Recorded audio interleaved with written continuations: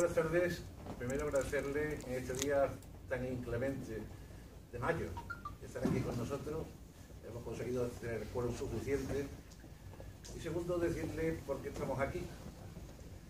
Aparte de darle la buena tarde, como hace rigor, porque eh, mi amigo José Antonio Galliani dirige un centro que en este caso va dedicado algo tan importante y tan grande, desconocido como es la mente.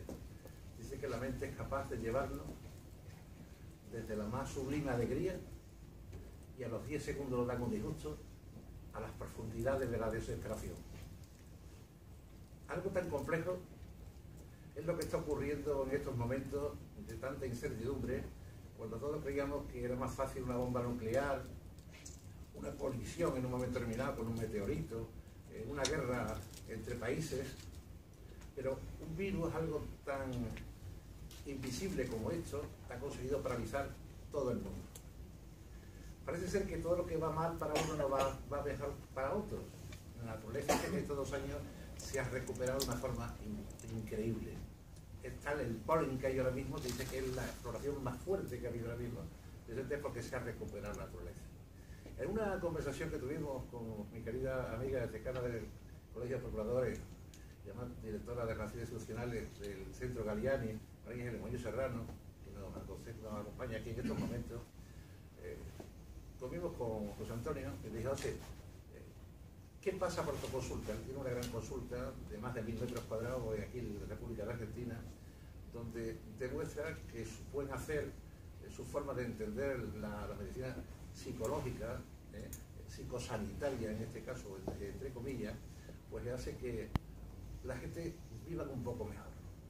Para ello eh, le combiné a que nos diera una conferencia, más que conferencia, una charla eh, de un amigo para otros amigos como sois vosotros, y que nos indicase cuál era el proceso a seguir y si había alguna vacuna emocional para todo esto que estaba ocurriendo. Y él dijo, sí, porque estoy yo desarrollando esa vacuna de la que tú hablas, y es la que va a poner en valor el día de hoy.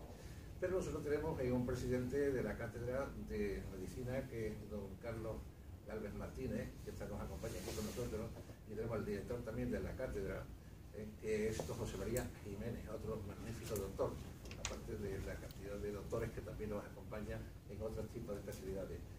Pues primero, don Carlos, darle las buenas tardes. Eh, unas palabras primero de usted hacia la audiencia y después pues don José María nos va a presentar ya la procesión. Adelante.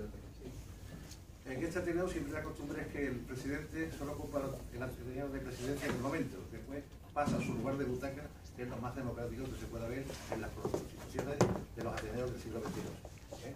Pues a hacerlo.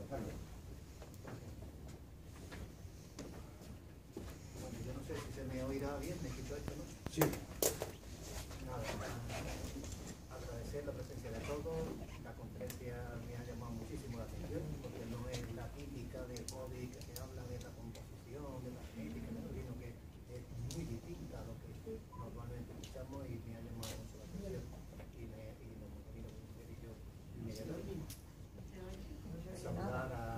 oye. doctor Galiani, no se oye.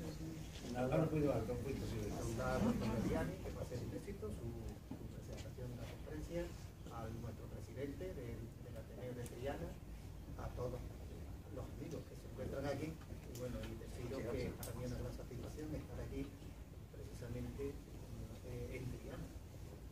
Ya una gran satisfacción el hecho de estar en esta zona de Sevilla. Y nada más.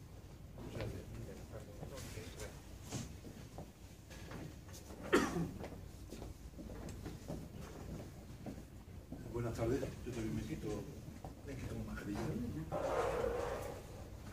Voy a leer unas pequeñas palabras, presentando a, nuestro ponente.